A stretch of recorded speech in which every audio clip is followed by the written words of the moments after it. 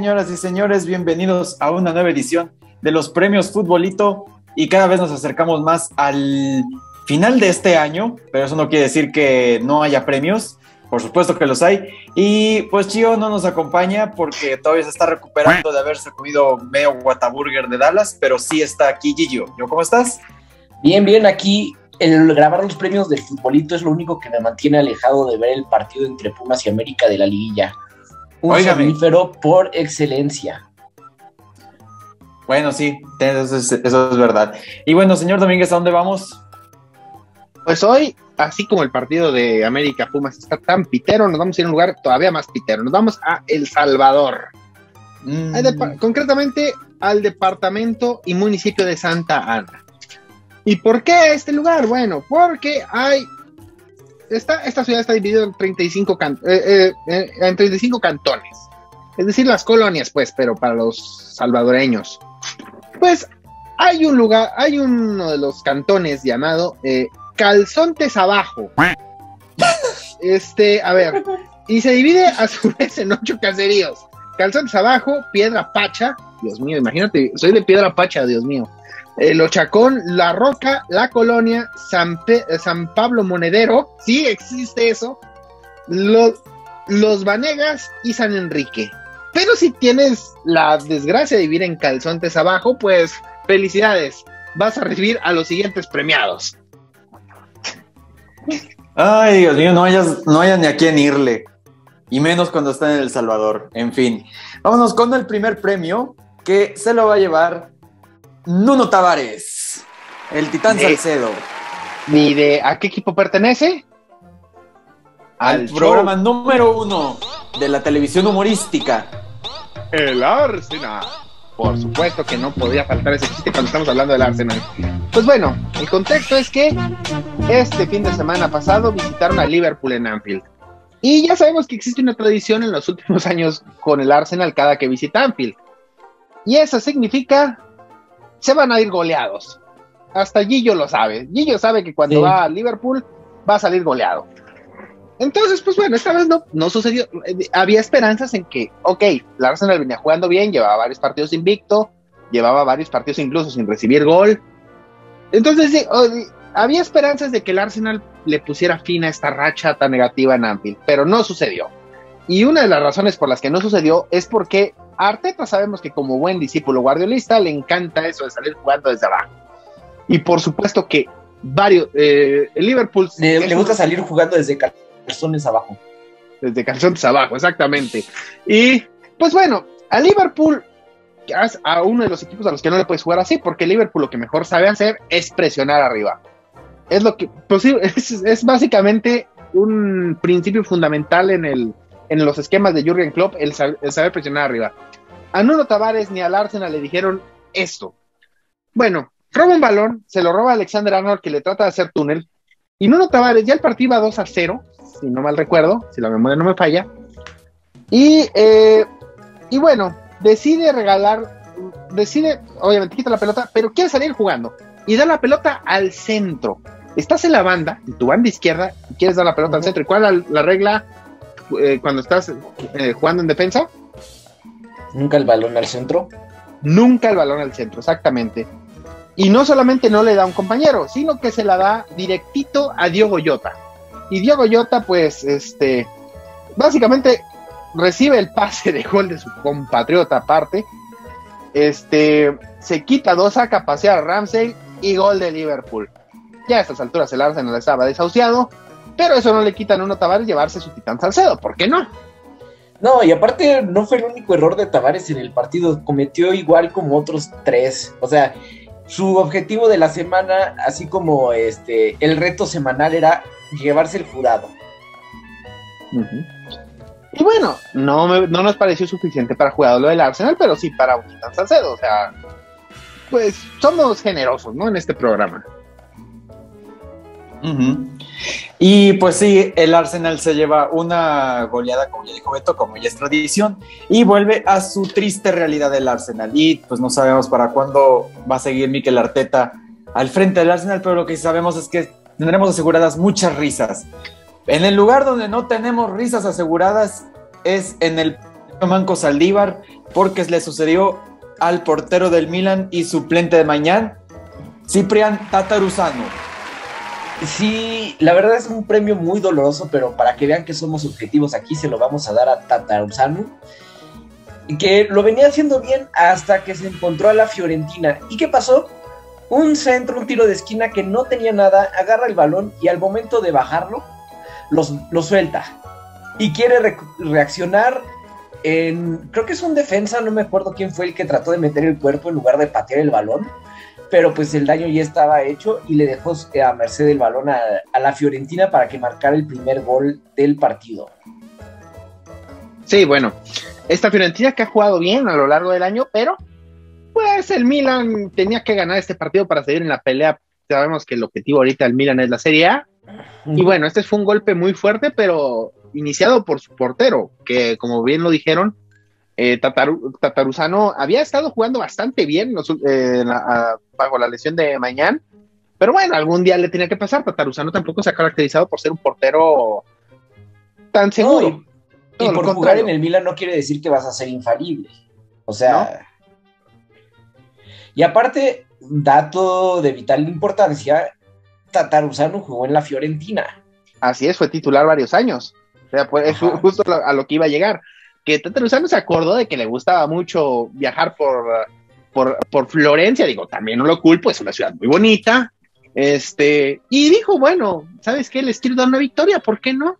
Digo, ya no estoy en, en, Florencia, pero pues les puedo regalar una alegría todavía. O sea, muy considerado de su parte.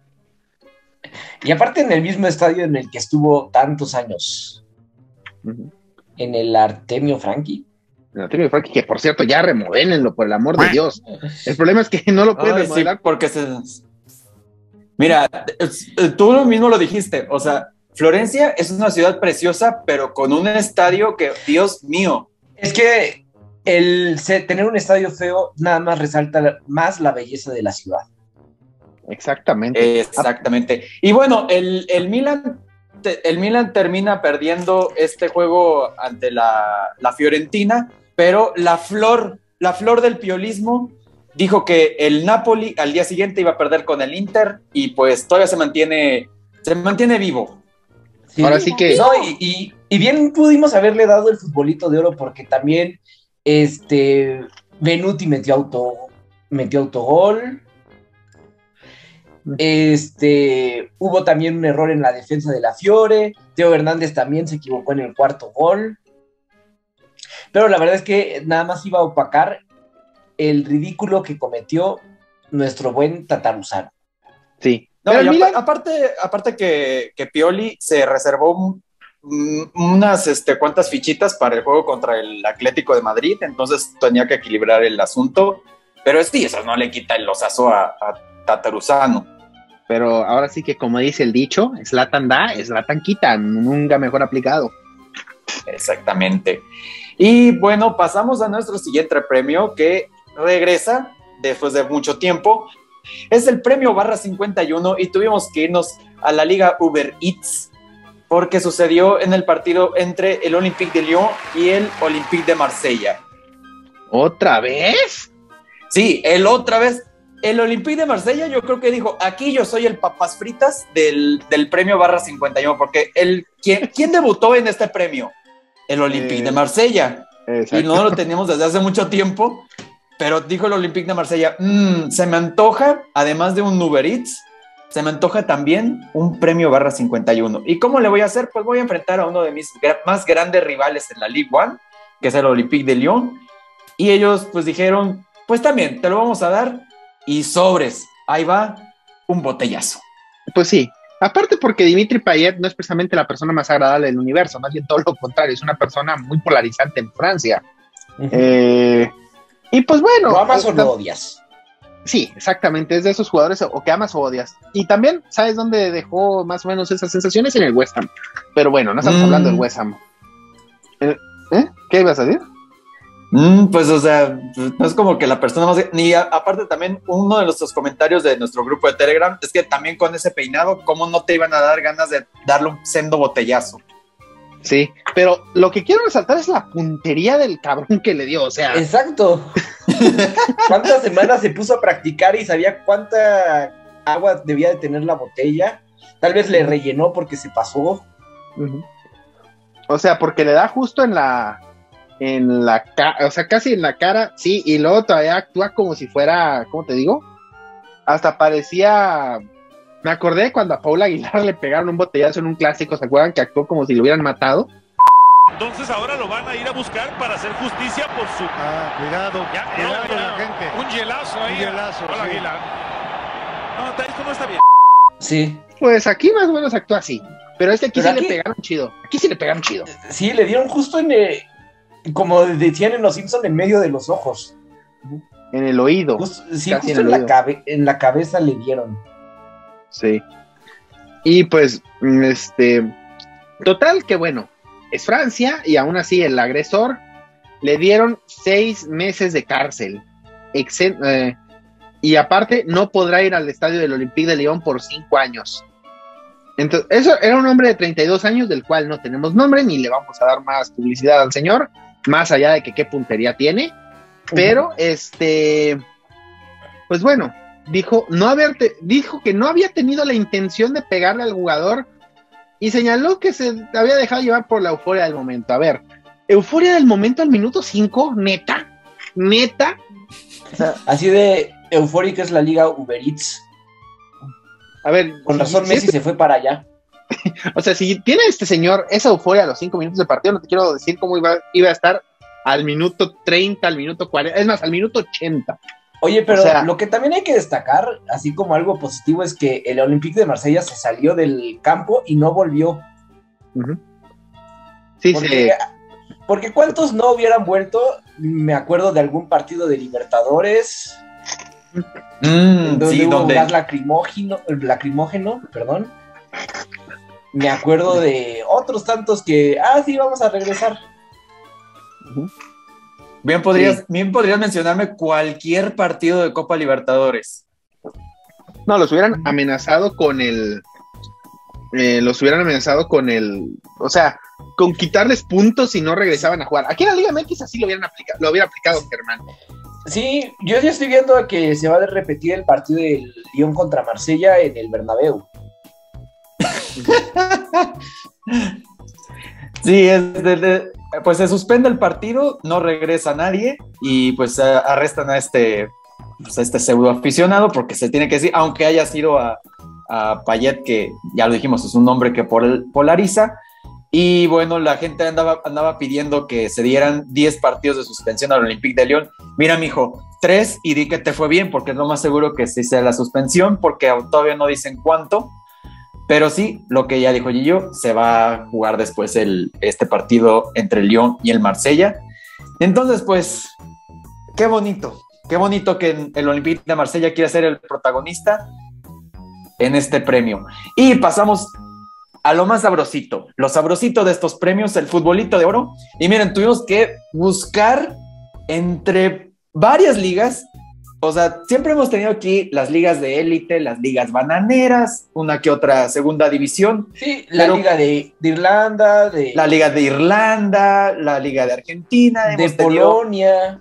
hemos tenido muchos, muchos premiados, pero siempre en primera división, o si acaso uno del Championship por ahí está colado, pero nunca Ah, lo, lo hemos más- tenido.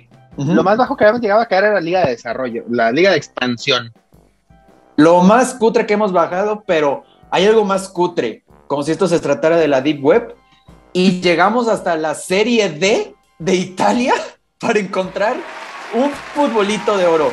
Miren qué tan futbolito de oro será, porque miren, hay un premio, hay un premio Titán Salcedo, hay un premio Manco Saldívar, y si usted quiere, hasta un premio Liga de Papel.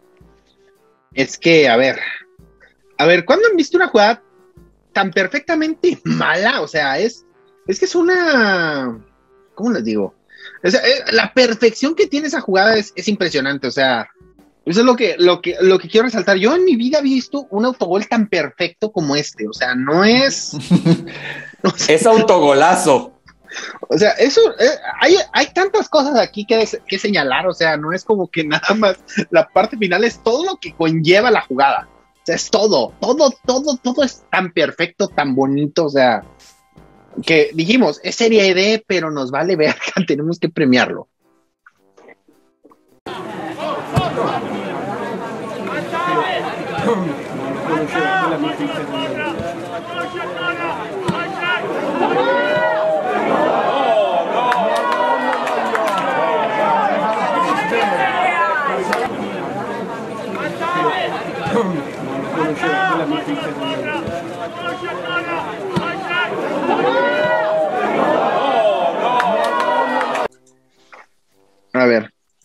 Y, aparte, aparte también, o sea, al momento del, autogolazo, o sea, se escucha como una señora estaba que, ay, como que ya valió.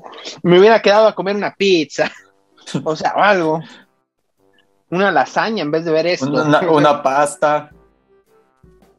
Con un vinito que, por cierto, dato de vital importancia. Eh, es más, hacemos una trivia. ¿Ustedes qué creen que es más barato en Italia? ¿Una Coca-Cola o un vino? Un vino blanco. ¿Alguien? Eh, ¿Hugo? Hugo ya se nos murió, ya se fue a emborrachar seguramente. Pero es un vino, exactamente. Un es vino. Que, es, que ya, ya, antojaron, ya antojaron. Un vino es más barato que una Coca-Cola en Italia. Dato de vital importancia. Pero bueno, no es el punto. A ver, hay que señalar, o sea, hay que describir lo que estamos viendo. O sea, porque es una jugada. A ver, es un balón. Revientan desde la defensa, básicamente. Este. Aparte las canchas. La cancha en pésimas condiciones. Y bueno, juega, el, el, defensa juega atrás para su portero, que su portero aparte se vio tronquísimo, o sea, no es, este, mete un tornillo un tornillo. Y el defensa dijo, ah, pues estamos jugando a hacer tornillos como si fuera ferretería, pues aquí yo también le doy. Y el problema es que su tornillo salió justo hacia la portería. O sea, es una cosa preciosa este autogol, por donde se le quiera ver. Sí, es perfección. Sí. Es una obra de Da Vinci, o sea, aprovechando que estamos en Italia.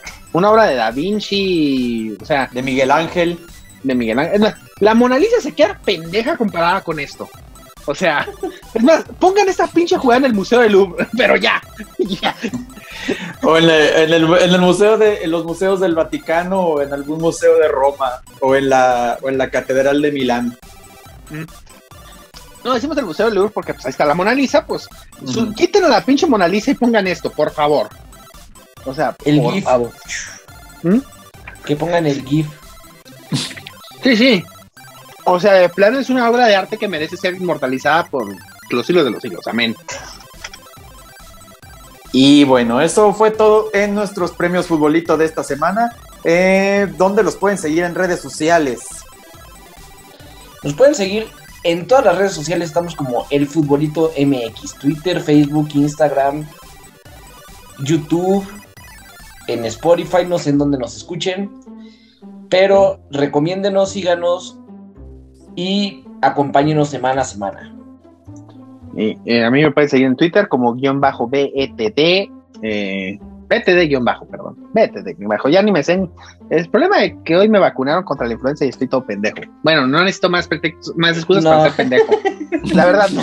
Luego, ¿por qué la gente no se quiere vacunar? Va a decir, quiero, voy a terminar como Beto. No, gracias.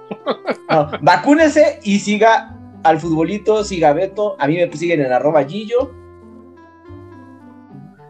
Y a mí me siguen como arroba Hugo-tuitea. Sí, si no se quieren perder los, eh, las mejores crónicas de Amor en Custodia, sigan a Hugo. Dios mío, cómo, Dios mío, que cada vez se pone más intrigosa y también más intrigoso se ponen estos premios futbolito. Y bueno, eso fue todo.